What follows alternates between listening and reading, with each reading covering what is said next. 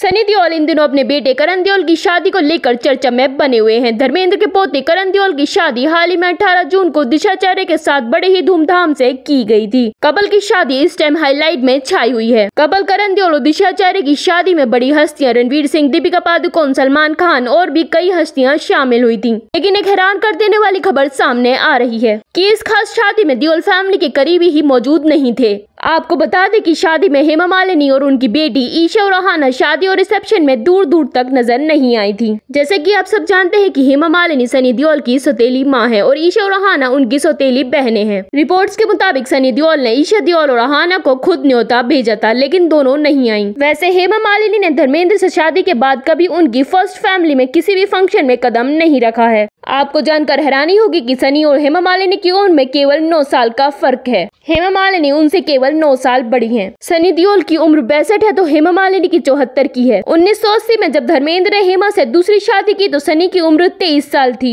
धर्मेंद्र ने भले ही हेमा से दूसरी शादी कर ली हो, लेकिन कभी अपनी पहली पत्नी प्रकाश उनके चारों बच्चों को कभी नहीं छोड़ा और न ही प्रकाश कौर को तलाक दी है। और ज़्यादा अपडेट के लिए जुड़े रहिए हमारे चैनल एमसीएस न्यूज़ ऑफिशियल के साथ।